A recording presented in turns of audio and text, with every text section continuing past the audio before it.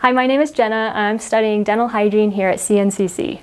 I am a first year student at this program and I came in through the competitive entry program um, and I did all my prereqs at the University of Wyoming. I took all my chemistry and biology and all those courses that you need over at the University of Wyoming and then applied through competitive entry. I've had a great experience at this program.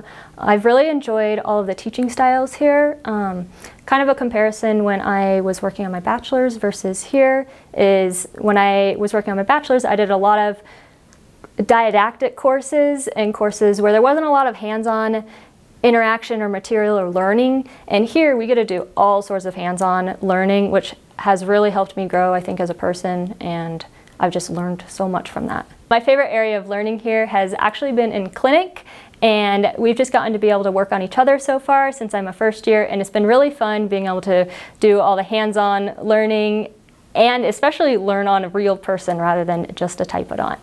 I think the advice that I would give to somebody who's looking into dentistry as a career or dental hygiene is to do as much shadowing as you can, get a feel for what that career looks like, and you can learn so much from shadowing. And while you're in school, I think um, get to know your, your teachers and your professors, build a relationship with them because they're really here to help you and they really want to help you. Um, and yeah, you can just learn so much from them too. Once I graduate, I'm actually looking at applying to dental school um, and becoming a dentist.